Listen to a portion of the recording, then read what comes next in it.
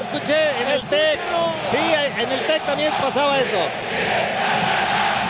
No, hombre, qué bárbaro, qué gran ambiente, cómo está disfrutando toda la afición. Quiñones recibe la pelota con dos rivales que lo marcan. Abre para Guiñac.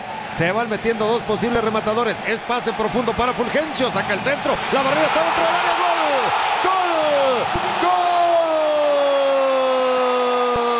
¡Gol! ¿Y a quién le va a dar ahora el beso?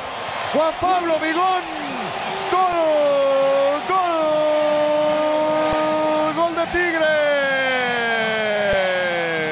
Y no sé si trae ahí una molestia en el muslo, me parece que se lesiona Juan Pablo Vigón. O no lo sé, pero ya más besos dijo que no. Y Guiñac le da su cachetadita. ¡Ah, qué cosa tan hermosa es ver a estos pequeñitos celebrando la alegría, la algarabía de su equipo! Y viene Juan Pablo Vigón a recibir atención médica, saluda a la banca. Vamos a ver cómo va, pero por lo pronto la sonrisa no se borra. Es un gol por México.